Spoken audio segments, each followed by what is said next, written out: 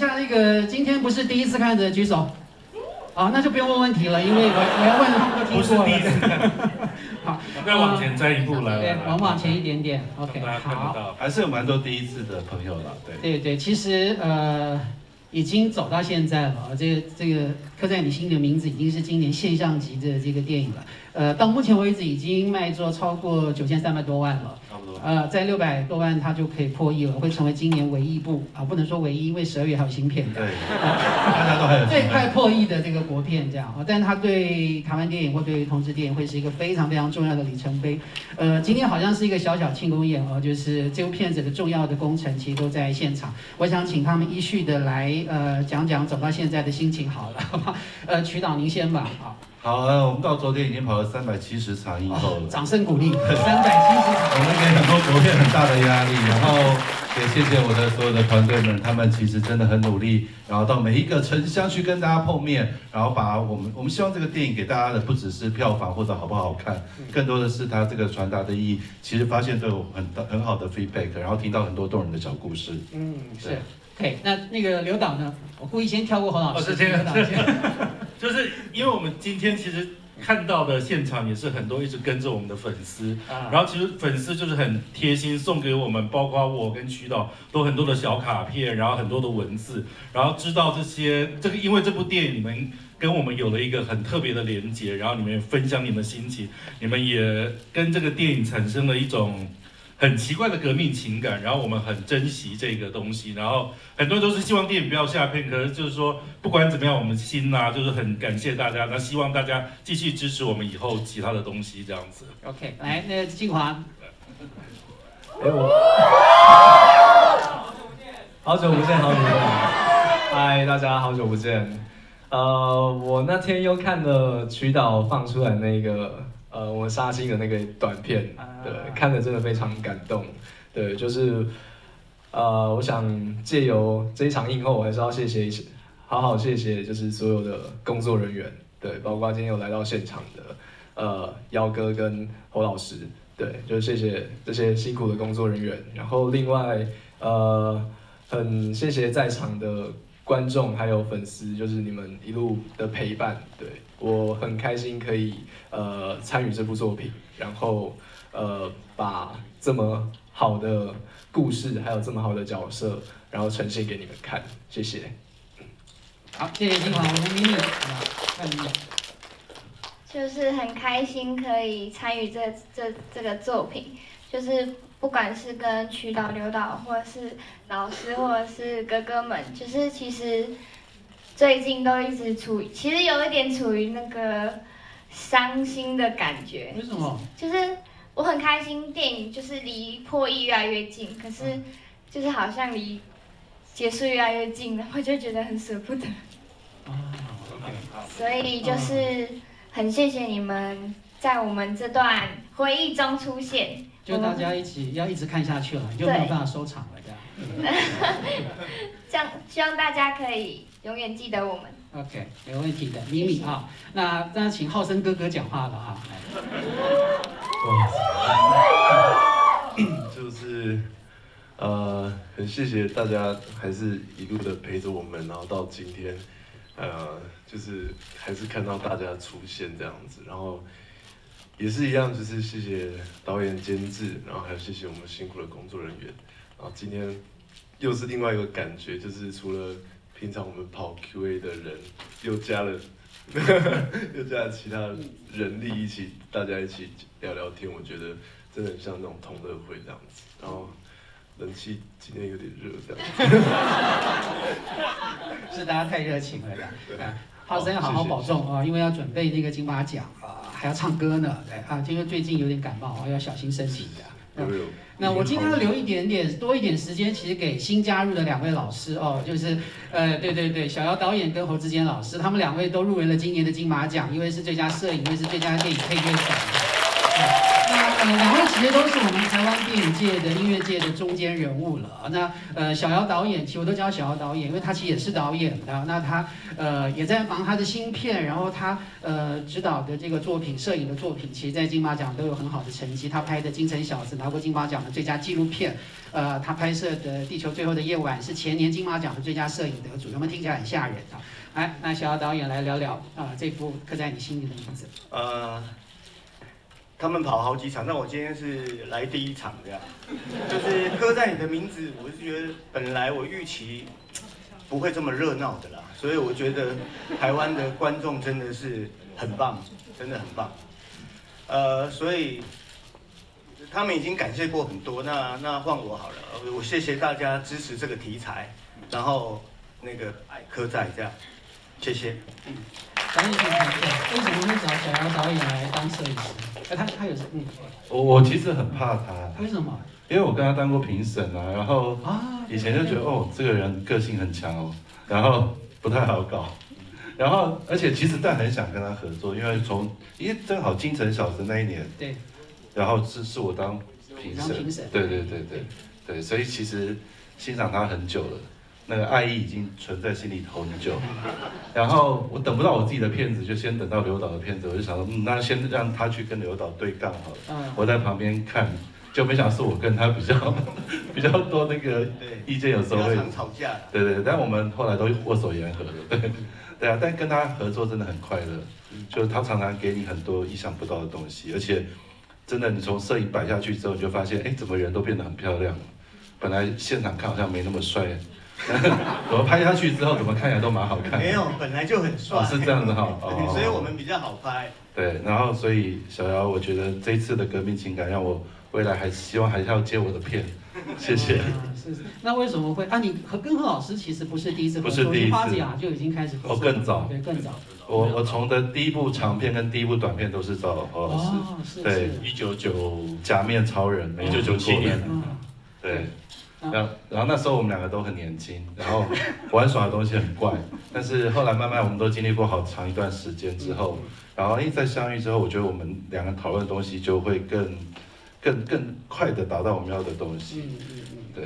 侯老师其实是金曲奖的常胜军了啊，前年其实这个范宝德也入围了金马奖的最佳电影音乐。那这次其实，在影片里面你设计了很多很棒的，包括了小号啦、大提琴啦等等等等的。你怎么去设计这部电影音乐？可以跟我们聊一下。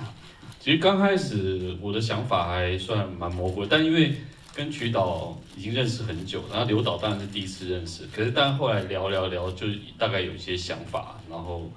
呃，就是曲导那时候一直提小号这件事情，可能他想到管乐队这件事情。那后来我也很理所当然想说这个元素要加进去，只是刚开始有在考虑说要怎么加这个东西。后来其实就把这些角色其实分得稍微清楚一点，可能小号部分比较代表就是呃年轻的那种躁动啊，比较想要呼求或是比较想要那样的欲望的东西之类的。然后后来渐渐的可能用大提琴去，因为大提琴是个很温暖的呃乐器啊，它它有一种平抚啊，然后就是理解啊、醒思的这种一个过程，所以再加上钢琴其实一直很客观的在观察这件事情，所以三个三个刚好频率组合起来就是一个很好的很好的状态啊，然后在这些场景再用弦乐去表现，所以。这部片我我我玩的很开心啊，因为我我不否认跟曲导有所谓的革命感情，就说在这部电影里面，几乎所有以前那些所有一切那些二三十年来所有累积的一些情绪啊，各方面啊，然后在看这个电影之后，然后整个东西都变成一个独一无二的东西，展现在这个电影里面，所以对我来讲呢非常珍贵，可以参与，很棒。嗯，对对，也谢谢那个何老师的参与，让这个片子其实更加的动人。我说一下刚刚音乐这个部分，其实我们最早的音乐是很丰满，很多乐器的。他不想让你们问。我们有很多乐器，真的真的要讲。然后后来我跟侯侯志坚，我们就聊说，我们要把那个音乐更单纯一点。是。然后，但是从单纯的乐器当中再去变化出一些不同的可能。所以，像比如说。我不知道你小喇叭前面套了一个什么东西之类，就是 mute 啊之类的。对，所以那个小喇叭的层次就会各自不相同，尤其到长大之后，到了瀑布就完全抽离只有那一段。对对对。所以对我来讲，他又是一个演员。是。对，然后摄影也是个演员。我觉得这个戏不只是他们几位，这这这两位都是很好的演员，对。就那一秒，但我们希望给给大家看到，就是阿汉他在于自己对于是不是同志这件事情一个很大的一个外来的一个冲击。然后我我我觉得阿汉他应该是不会打下去的，我的 对我觉得那个打下去就是说他基本上他就成为欺凌自己、霸凌自己的一个共犯。那我觉得阿汉应该。阿汉，我觉得阿汉是一个诚实的人，他对自己都很诚实，对自己的感情很诚实，所以我觉得他应该不会去做下那个动作。可是静华会是什么反应？我们可以问一下。那 Birdy 会是什么反应？Birdy 如果没有救的话，你们还记得 Birdy 他其实是一个转学生嘛？对。然后呃，我觉得他呢那个当下的心态就是呃，因为他在转学之前，我觉得我自己设定他是已经有。看过这种事情发生，或者是他有遭遇到这种事情，对，所以呃，甚至他就是那一个受害者，所以他知道那个当下受受他的心情，还有他遭遇到的感受是什么，对，所以呃，他当下我我就是要去救他出来，我一定要打破这个东西。另外一方面，Birdy 他是角色，他有他自己的坚持，他有他自己一个很坚持的东西，他不要被改变，他。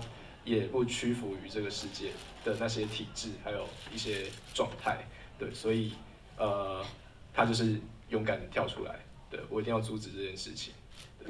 好，那当事人要不要谈一下？我我先讲一下哈，插花。我觉得那个当下其实呃，Birdy 要救阿汉嘛，其实他他知道阿汉在一个很尴尬的状态，他必须要挺身而出，因为他。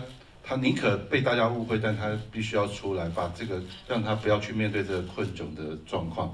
那我是编剧嘛，那我基本上就写到那个点，他就一定得出来，所以我没有办法想象他打不打这件事情。但如果是陈浩森本人的话，他可能会说，他又不是棒球，干嘛拿他来打？然后我只想本人可能会这样讲，好，来，我会不会举起来？不小心打自己。哦，OK。没有，我觉得如果阿汉。真的打下去的话，呃，我因为我觉得他在那边挣扎的时候，他其实心里不止想着，呃，瘦瘦想着自己，甚至他还想着 Birdy 会不会出来。所以如果他打下去，唯唯一一个，我觉得唯一一个那么细微的理由是，他不想要 Birdy 参入这件事情，跟不想要 Birdy 被误会这样子。对对对对对。就但是我觉得这个问这个问题的答案真的是让观众自己去想象，跟自己去。脑补的这样子。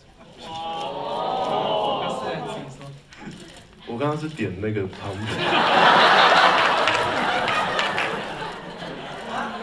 呃，你听到三个对不起，你的对不起，你的心里的感觉是什么？你认为他为什么说对不起？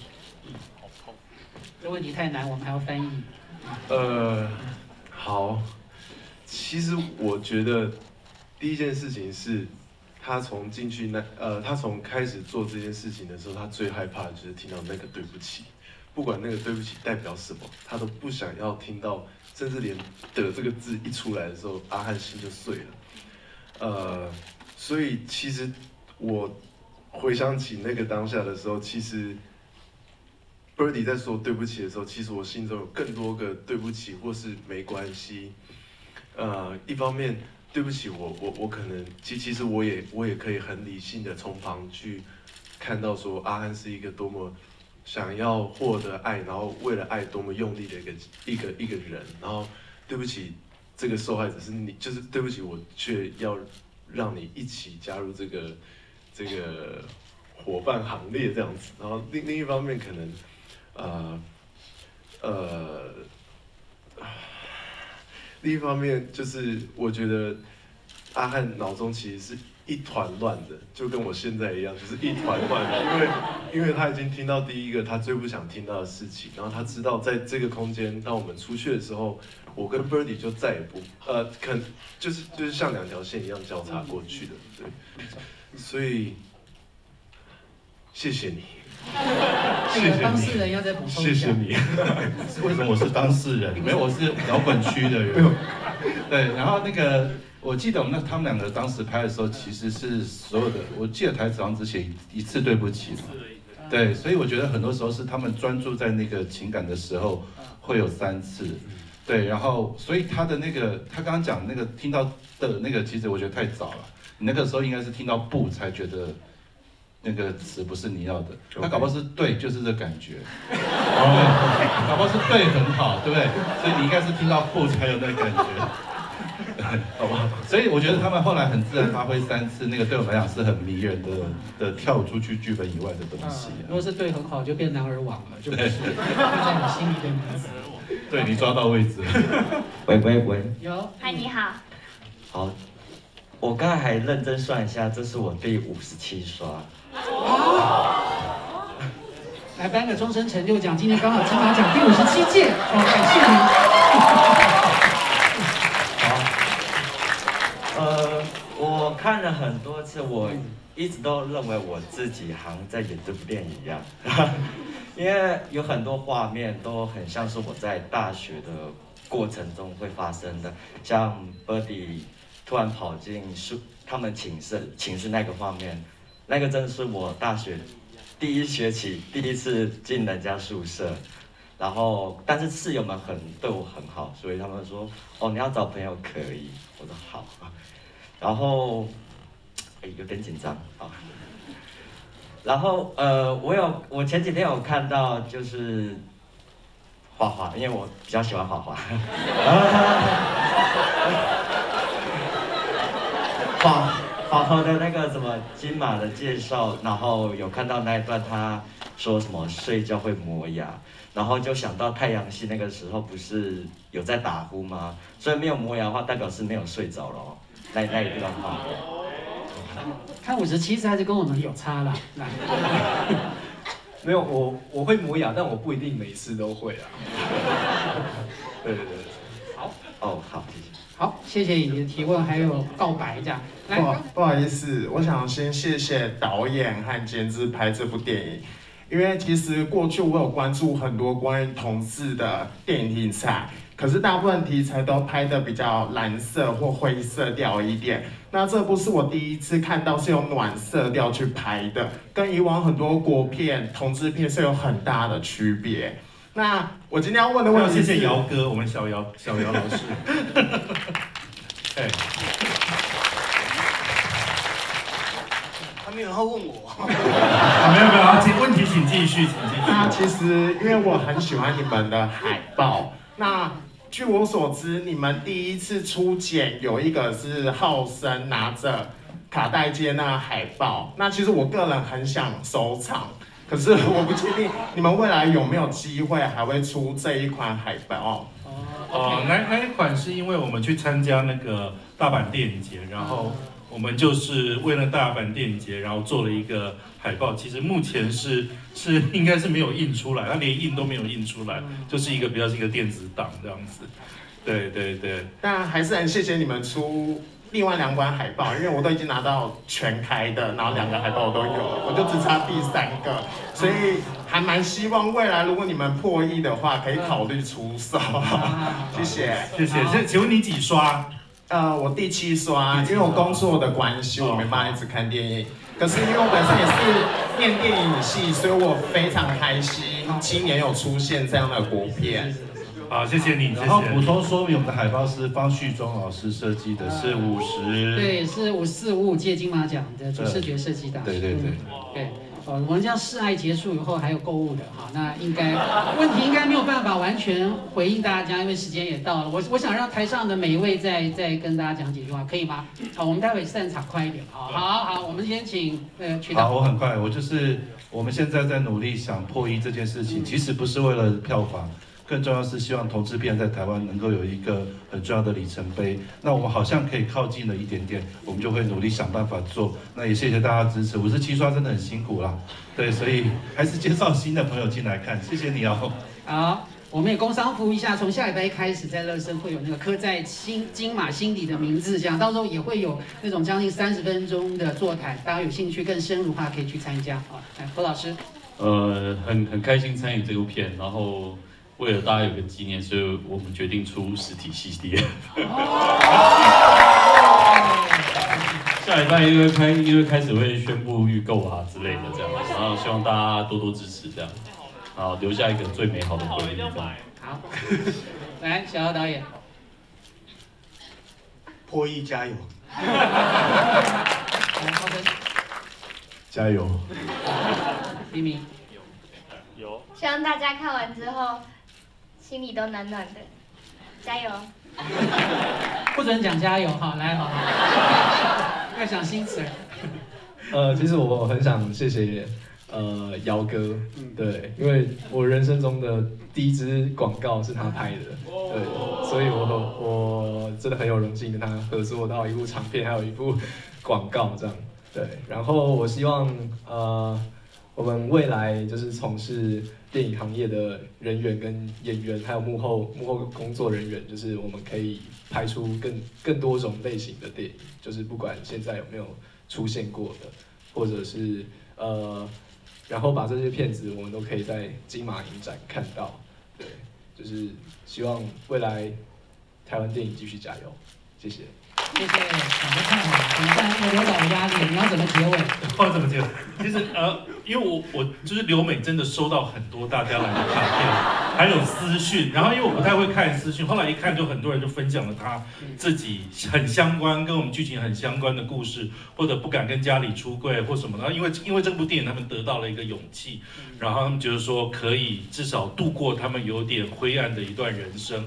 然后我我真的希望就是说，呃，上次我们同志游行的时候，我讲了一段话，那很多人就 quote 出来，就是说他们很喜欢我这一段话。那我想再告诉大家，就是说，我觉得做身为同志，他他没有什么好骄傲的，就是我们骄傲一天走上街头很开心，OK。可是我们一定要更努力，活出自己的姿态跟样子。好，这是我希望这个片子可以带给大家更多的勇气，然后做出更漂亮的自己，这样子，谢谢。谢谢谢谢刘导啊，也谢谢台湾影星的明杰为今年的台湾电影啊，都活出自己的姿态跟样子了。呃，现在已经很成功，但是可以更成功，也欢迎大家继续的支持。我们今天 Q&A 就到这边告一个段落了，谢谢大家的参与。我们先让你们离开呃现场。好，谢谢大家。各位别忘了你们手上的我们要说晚安，我们要说晚安。